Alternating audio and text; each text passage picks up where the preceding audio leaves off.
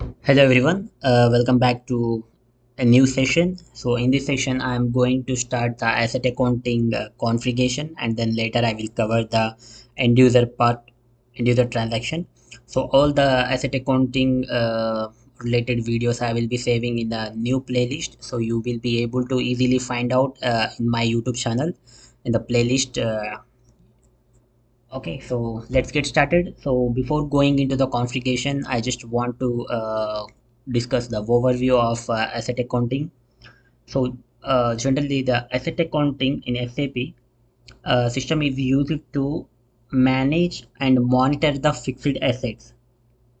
In financial accounting uh, it serves as a subsidiary ledger to the general ledger module and provide the detailed information of the transactions which are involving in the fixed asset module. So uh, here to do the configuration we need to access the transaction code spro and then click on sap reference img here. And select the financial accounting. And here and all the way down you will see the asset accounting. And then expand the organization structure. So here the second step would be copy reference chart of depreciation.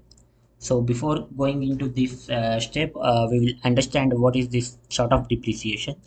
So basically in the asset accounting module uh, first of all we need to create the chart of depreciation.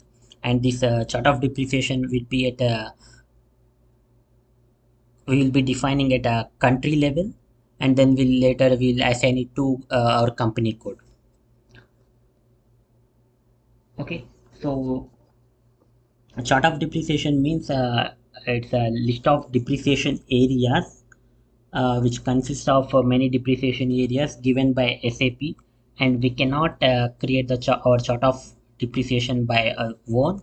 So SAP has already given the templates uh, chart of depreciation templates for each country wise uh, if our countries belong to US, uh, we need to go to the sample chart of depreciation for US and we need to copy from that template and we need to create our own chart of depreciation. Okay, so to do that, uh, just click on uh, execute of uh, this, this step, copy reference chart of depreciation. So here you will see the three steps so the first step will be uh, we will be copying the template existing template to our uh, new chart of account. And uh, so here uh, we need to use this copy organization object. And then here uh, you need to click on f4 expand this one f4 here.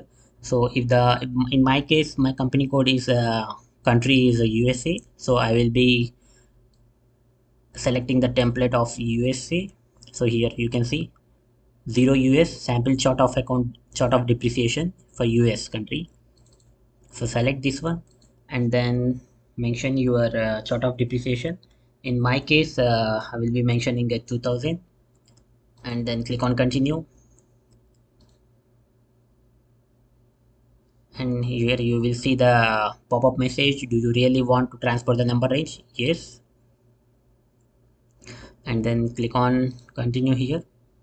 So here you will see uh, chart of depreciation 0 us copied to 2000 okay then click on continue.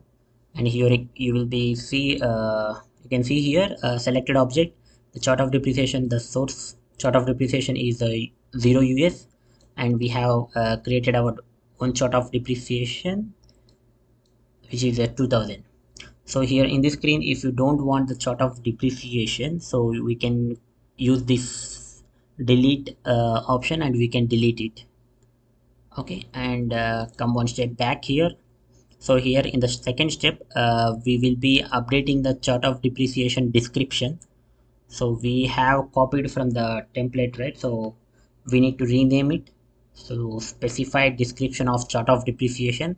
Just double click here and then click on position enter your uh, chart of depreciation which has been created in the previous step and then hit enter. So here uh, you will be able to see here uh, sample chart of depreciation us the description is.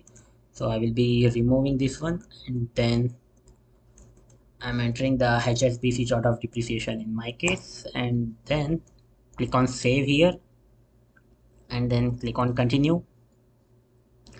And then come one step back in the third step uh, you will be see uh, copy slash delete depreciation areas.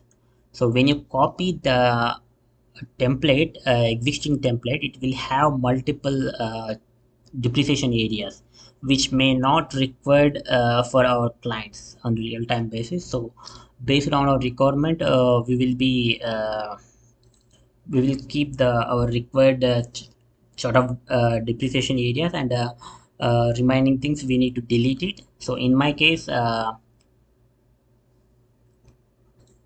okay. So in my case uh, 10 11 12 13 and 32 40 80 these all are not required in my case. So i'm simply deleting it. And then uh, so here we need to mention the chart of uh, accounting principle which is assigned to our company code. So let me open another session so here i'm entering the transaction code fins underscore ledger.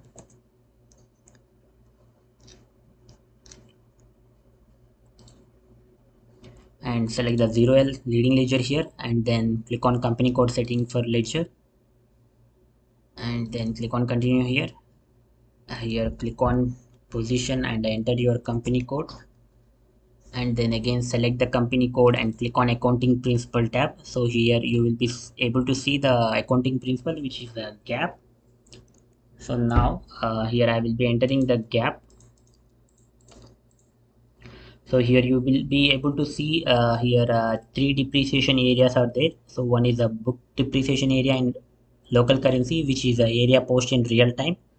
So remaining two are uh, area does not post so it will be copying the values from uh, the the book depreciation.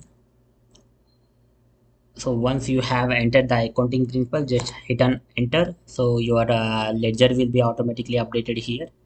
And then click on save.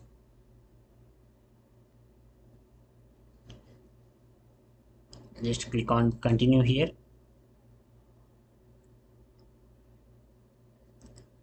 And then click on continue again so now we have uh, successfully created the chart of depreciation and uh, uh, we have deleted